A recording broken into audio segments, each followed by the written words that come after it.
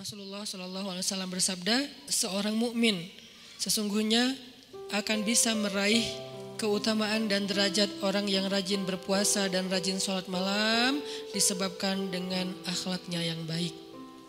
Maksudnya apa? Inilah keutamaan orang yang akhlaknya baik. Kedudukan orang yang akhlaknya baik adalah seperti orang yang ahli ibadah malam. Kedudukan orang yang akhlaknya baik adalah seperti orang yang ahli puasa di siang hari. Apalagi dia bisa sempurna antara siang dan malamnya, akhlak dan ibadahnya, maka udah nggak ada lagi yang bisa menandingi dia. Kalau dia ngandelin akhlak aja, ibadahnya wajib-wajib doang nih, karena nggak boleh kurang dari yang wajib kan standarnya mah. Yang wajib itu sholat lima waktu, yang wajib itu puasa Ramadan. Tapi nggak ada yang plus, nggak ada tahajud, nggak ada duha, nggak ada qobliyah ba'diyah, nggak ada puasa Senin e, Kamis, nggak ada Daud. Cuman yang wajib doang yang dia kerjain, tapi akhlaknya istimewa, maka derajat dia seperti orang yang kawam sawam. Orang yang rajin ibadah malam dan rajin puasa di siang hari.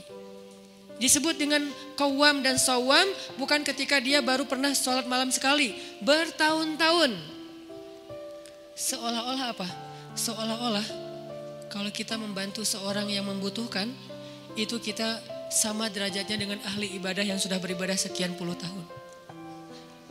Sekali aja kita nahan uh, lisan kita dari mencela orang lain ketika kita dicela, Daripada kita celah balik mending kita diam. Sekali aja kita nahan diri untuk tidak komen atau nge-replay komen orang lain. Itu derajat kita sama dengan ahli ibadah yang sudah bertahun-tahun. Sebegitu istimewanya ah, akhlak. Hadis riwayat Imam Ahmad, Abu Dawud dengan derajat sahih.